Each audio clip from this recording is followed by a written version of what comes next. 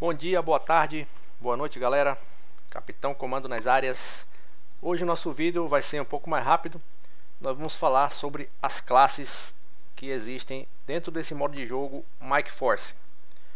Então como nós já vimos ali no primeiro vídeo, nós temos quatro tipos de unidade no Mike Force.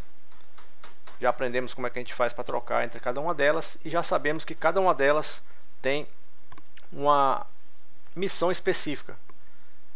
A cavalaria, ela tanto pilota os veículos blindados como os caminhões de transporte, de combustível, etc. Sendo que as outras não conseguem pilotar esses veículos. Os Green Hornets são os pilotos, tanto de helicóptero quanto de asa fixa, tanto para ataque como ressuprimento. O Mike Force é a tropa a pé e eles estão limitados a apenas os veículos que se encontram dentro da sua base, que são alguns jipes pequenos de, de ataque, e eventualmente aqueles helicópteros menores que são os Little Bird. E o Spike Team ele ainda não está é, disponível porque está em desenvolvimento. Escolhido a sua unidade, você vai escolher a sua especialidade. Vem aqui no Dutch Officer aperto 6, como nós já vimos, existem quatro tipos de treinamentos aqui para você fazer, que é o rádio operador, o especialista em explosivos, o engenheiro e o médico. Vamos começar aqui com o médico, que é o mais simples. Qualquer uma dessas quatro unidades que você escolher, você pode selecionar qualquer um desses quatro é, treinamentos aqui para você fazer. Aí você tem que ver qual é a necessidade da sua equipe, o que é que eles estão precisando e o que é que você quer fazer também. Sendo que, se você, depois a gente vai falar, vamos falar do médico primeiro. Então vou escolher o treinamento de médico aqui. Qual é a vantagem do treino médico? Eu vim aqui no arsenal para mostrar para vocês. Então nós temos aqui os kits de primeiros socorros que quando você usa em você mesmo, ou se você não tem especialidade médica, você usa para levantar um outro companheiro, ele vai consumir, você tem um ferimento leve, ele vai consumir um kit desse de primeiros socorros e vai levantar a sua vida apenas em 75%. Você não consegue dar full heal se você não tiver a especialidade médica. Para você conseguir dar full heal, você tem que procurar a barraca médica, se alguém tiver construído ela, ou então um helicóptero de medevac, que aí lá no helicóptero na barraca você consegue dar furril. O médico ele supre essa necessidade, porque desde que treinado com a especialidade médica e tendo ocupado um kit médico, que é esse kit aqui, você tem que equipar ele na sua mochila, você consegue dar furril de graça em todos os seus companheiros que caírem. Você consegue levantar eles, você consegue dar furril de graça. Essa é a única vantagem da especialidade médico. Uma dica é você já salvar né, os loadouts, como a gente fez aqui. Salva um de engenheiro, um de médico, um de piloto. Vai salvando os loadouts aqui, porque, como eu falei no vídeo anterior, facilita é, na hora de você entrar no jogo. Nem você perde tempo e nem você atrapalha o, a missão por ficar muito tempo mexendo no loadout. Agora vamos falar sobre a segunda especialidade ou especialização, que é engenheiro. Você vai vir aqui, deixa eu sair daqui que o diabo da cobra tá vindo aqui para cima de mim de novo. Rapaz, essa cobra é um inferno. Completado o treino de engenheiro.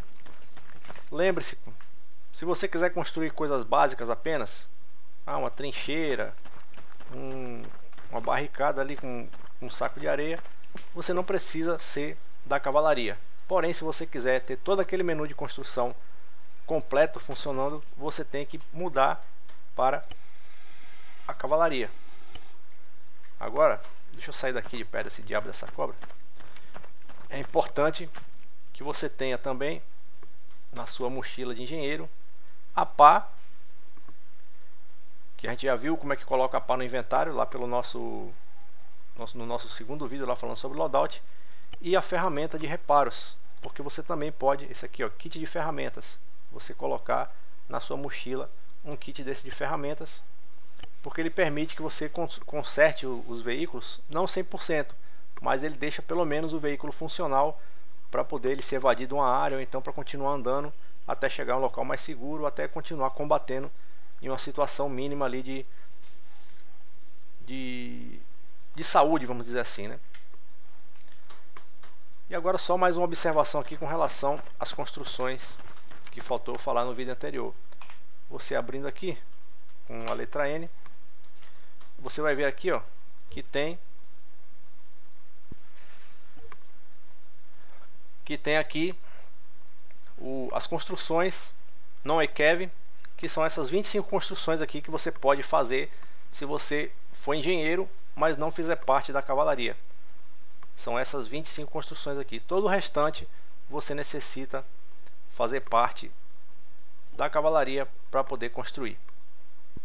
Lembre-se também de, como engenheiro, levar alguns sacos de areia com você, porque os sacos de areia eles são a versão portátil, vamos dizer assim, né, daquelas caixonas de suprimento.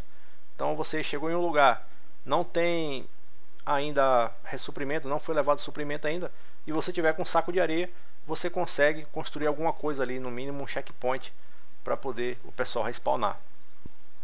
Agora vamos falar sobre a mais inútil especialização, que é o especialista em explosivos. Também pode ser feito por qualquer uma das, das quatro unidades. E o que é que o especialista em explosivo vai fazer? Ele somente vai te habilitar a desarmar explosivos colocados. Só que aqui no jogo, nesse estilo aqui, Mike Force, os inimigos não colocam armadilha, não colocam IED, não colocam nada. O que, é que acontece? Às vezes o pessoal que está entrando, como eu já fiz várias vezes, ainda não tem intimidade com os controles do jogo, vai pegar e vai ficar colocando, armando carga no chão dentro da base. Aí na verdade a sua única função é fazer a limpeza da base. Você consegue retirar aquelas claymores, aquelas minas que o cara colocou acidentalmente no chão. Fora isso, não tem mais nenhuma outra vantagem, porque todo mundo consegue é, colocar explosivo. Não precisa ser necessariamente ser o especialista em explosivo. E a quarta e última especialidade é o treinamento de radiooperador. Também pode ser feito por qualquer unidade, se eu não me engano só podem ter dois radiooperadores ao mesmo tempo, porque senão vira roubalheira, né? Porque ele é o responsável por solicitar o CAIS, seja ele dos jogadores reais que estão ativos ou da AI. Você vem aqui, treinamento de radiooperador e não se esqueça de ir no arsenal e pegar uma mochila de radiooperador, senão não vai funcionar. Você vem aqui, ó, e pega a mochila do radiooperador que é que vai acontecer quando você pegar essa mochila e fizer o treinamento? Deixa eu sair daqui. Ele vai habilitar no scroll do mouse duas opções aqui, ó. Rádio de mochila ligado e desligado, que é somente um, um som, é só um enfeite do jogo. Você vai ligar ele aqui e a galera vai começar a falar no rádio, mas é um, é um som do jogo.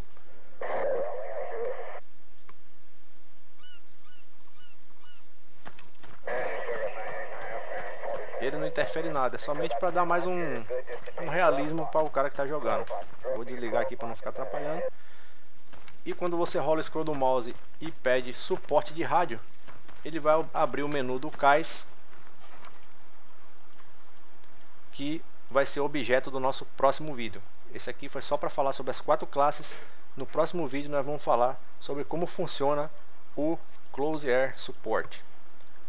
Bom, como eu disse, o vídeo de hoje foi bem rápido, cumprimos aqui o nosso objetivo de mostrar as classes e no próximo vídeo vamos falar sobre apoio de fogo, seja Close Air Support ou artilharia, seja do AI ou seja dos jogadores ativos. Obrigado por ter acompanhado o vídeo até aqui, um grande abraço, se você gostou curta, compartilhe, tamo junto, até mais, fui!